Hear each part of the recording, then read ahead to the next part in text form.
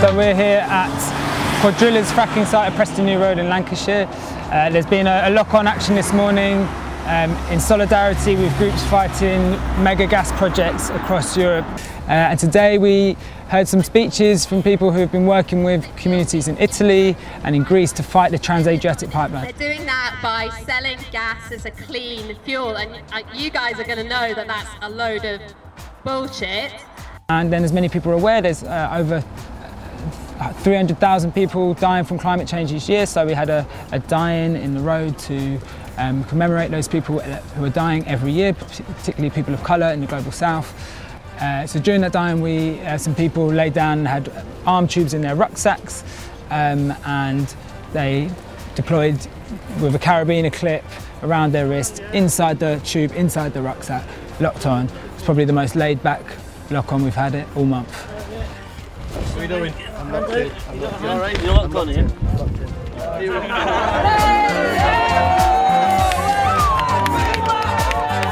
The people of Lancashire have said no to fracking, and that's really, really clear. The council has said no, the local people have said no, um, but the central government has overruled them. Um, so people feel that there's no choice now but to try and prevent this fracking operation from going ahead and to make it as economically costly as possible for Cuadrilla to go ahead with, with fracking. So what's the strategy? Why, why do this? Um, it takes a long time to get the cutting team in to go through the different kinds of like materials and cut you out and so it's a really good way of like blockading a site and stopping action from happening. We're blocking the gate because we're here to stop fracking. We're here to stop fracking and that's why there's protests happening.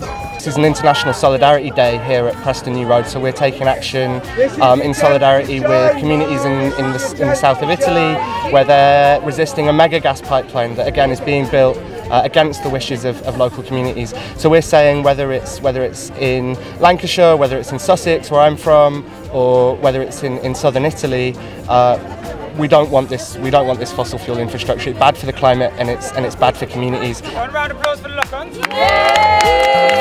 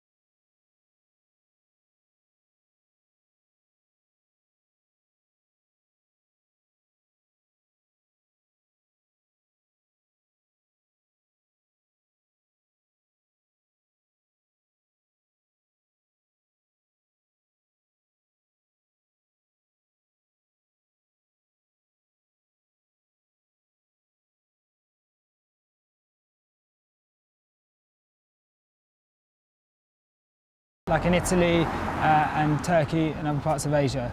So people have put their arms into some arm tubes, which means the police cannot, can't move them um, without risk breaking their arms. So in order to get rid of those protesters, they'll need to be cut out, and that's going to take a number of hours. So whilst they're there, Cuadrilla's fracking site is shut down, uh, and that's the aim of the day.